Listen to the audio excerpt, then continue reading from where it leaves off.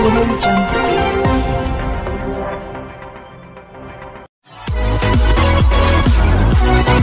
थाना कोतवाली का है।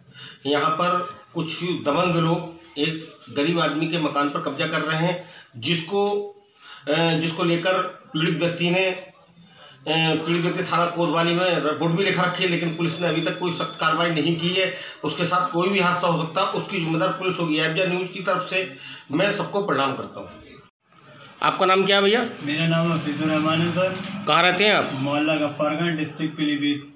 थाना? थाना कोतवाली।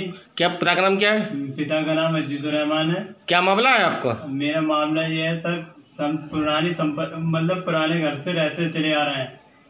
और ये नईम हुसैन उसके अन्य साथी लोग हमने हर दिन आए दिन परेशान करते रहते हैं।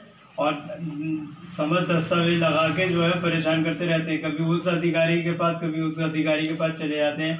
और हमें इससे बहुत परेशानी होती है और आए दिन हमें घर में घुस के मारने की चांस मारने की कोशिश करते हैं। और यानी कितने सालों से हमें परेशान करते चले आ रहे हैं और प्रधानमंत्री आवास योजना के अंतर्गत हमारा पैसा रिलीज़ हुआ था, उसमें भी इन्होंने बाधा डाली। उसके बाद जो है इन्होंने हमारी विभाग द्वारा जो है हमने सत्यापन कराया गया। उसमें भी हमारे मतलब आया पक्ष में। उसके बाद इन्होंने जो है पुलिस को पुलिस के विरुद्ध भी कार्रवाई करवाई हमारे खिलाफ और हमें बहुत मारा पीटा और आए आज भी आए हैं जो हमारे घर पे। डर, डराया धमकाया और जान मारने की कोशिश करी और हमारे घर वालों को सबको बंधक बना लिया और उसके बाद घर से बाहर भगा दिया। हमारे अति छेड़छाड़ करी हमारे मम्मी भाई बहन और भाभी के साथ इन लोगों ने और गंदी गंदियाँ गालियाँ दी और सर ये कहा इन्होंने कि इसमें से हमें क्या कहें ये घर हमारा है इसके अलावा तुम्हारा नहीं है और तुमसे जो कर मिले वो कर लो जाके। अब छेड़छाड़ किसने की थी और किन किन के साथ की उनका नाम क्या है? छेड़छाड़ जो है जुनेद हुसैन ने की नईम हुसैन ने की उनके अन्य साथियों ने कम से कम पच्चीस लोग आए थे सर। नहीं किसके साथ की छेड़छाड़?